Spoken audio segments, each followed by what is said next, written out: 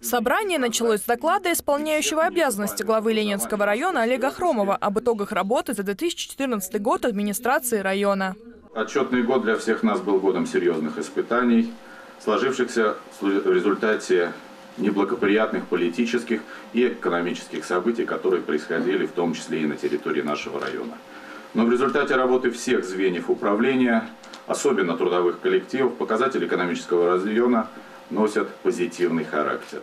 Об этом говорят основные экономические показатели. Большинство предприятий сохранили рабочие коллективы, увеличили объем производства. В нашем районе традиционно развивается сфера производства. Лидером данной отрасли остается ЗАО «Совхоз» имени Ленина.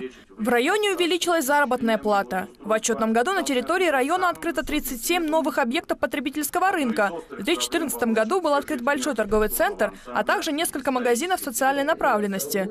В связи с увеличением торговых предприятий увеличилось число рабочих мест. В сфере бытового обслуживания в рамках губернаторской программы в декабре 2014 года завершен капитальный ремонт бани в городе Видное. В истекшем году было введено в эксплуатацию 711 тысяч квадратных метров жилья. Это самый высокий показатель среди среди всех муниципальных образований Московской области.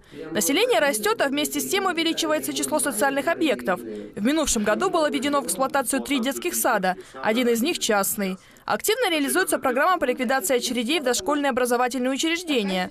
Задачи на нынешний год, исполняющие обязанности главы, ставить четкие и нетерпящие отлагательства. Это строительство новых и реконструкция существующих дорог, в частности, выезда из новых микрорайонов.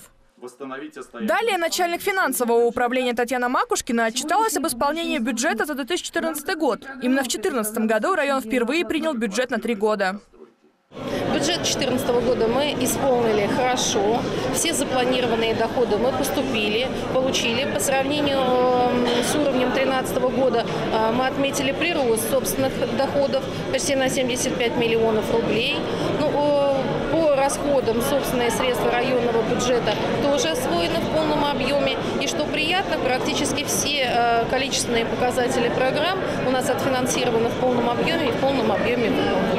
Сразу после публичных слушаний по исполнению бюджета Совет депутатов Ленинского района провел очередное 27-е заседание Совета. Работа администрации была, была оценена на удовлетворительно, а, потому что со всеми задачами, а итог сегодняшний, это, конечно же, и отчет о исполнении бюджета, все было выполнено.